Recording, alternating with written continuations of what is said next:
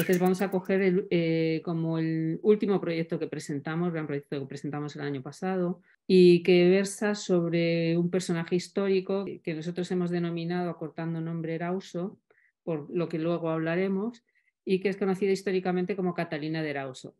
Eso nos llevó mucho tiempo, ¿no? Pensar cómo resolvemos esto, cómo, bueno, cómo nos enfrentamos a Arauso. A nosotros nos interesa el pasado en la medida en que repregna el presente. A veces cuando indagamos en el pasado nos damos cuenta de que hemos construido tópicos sobre el pasado, imaginamos un mm. pasado en el que, pues, por ejemplo, cuestiones de disidencia sexual, mm, siempre hemos ido a mejor, ¿no? Parece que hemos progresado, cuando en realidad nos vamos a encontrar que, con que si nos situamos en una época determinada, en una situación determinada, nos vamos a encontrar con que es verdad que se resolvían de otra manera las cosas,